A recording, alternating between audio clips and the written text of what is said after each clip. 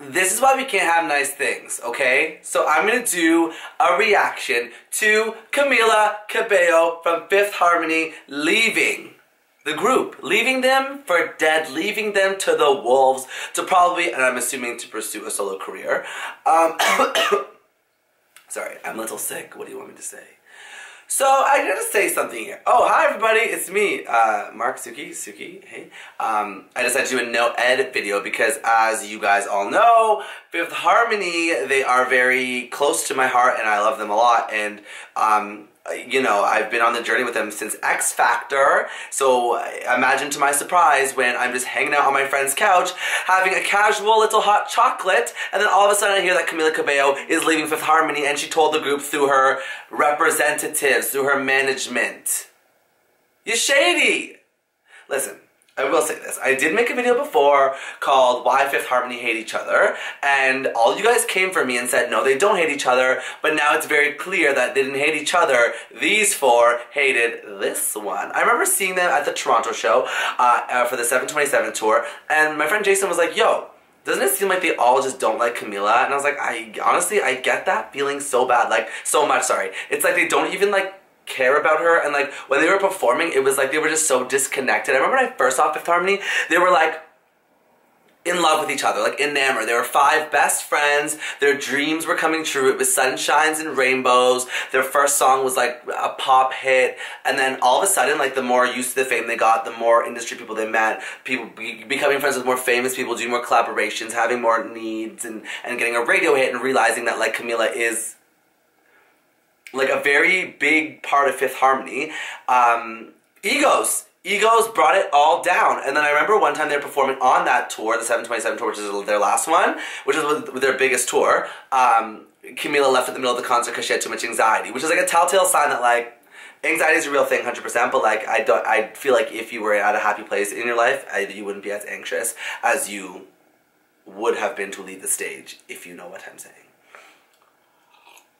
this is the thing, is that, am I surprised that Camila is leaving, or sorry, has left?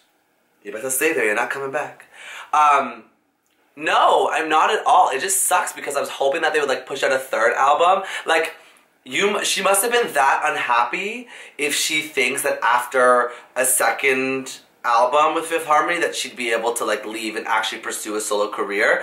It's just tough because like she'll always be remembered as that girl uh, from Fifth Harmony who like went and did solo. And I get it, like Justin Timberlake did it, um, Nicole Scherzinger tried to do it, Beyonce did it, but like they put in work in those groups and they still have the utmost most respect for their groups. Like Destiny's Child Beyonce went solo, but then she went back and did Destiny's Fulfilled, and then they went solo ultimately again. So I think that like it's a true sign of like a foundation and like how, how and how to respect where you came from. Because I feel like with Camila, she's always been the star of Fifth Harmony, and she's always been like the most quirky one and the, and the one with the most identifiable voice. So of course people are to be feeding her ego, being like, "You're the star, you're the star, you're the star." But you can only be a star in a five person group thing. I'm sorry. Like, if this is how I feel. Like Fifth Harmony, they're like together as one. But like when I would watch Camila perform it, like with Machine Gun Gun Kelly, being like, "Hey, I'm performing this solo thing. It's just kind of like, oh, cool. Do I want her to prove me wrong? Yes, I want you to prove me wrong, Camila, because I feel like you need to go explore your your producer. Your friends with Diplo. Go do songs with him. I feel like you will make some fire tracks. I will listen. I will purchase. I will buy. But current present day, I am so mad at you that it had to come to this, and you had to leave your girls behind to pursue solo. Now, moving forward, Camila, goodbye. The four of them are gonna try to pursue fourth harmony, essentially.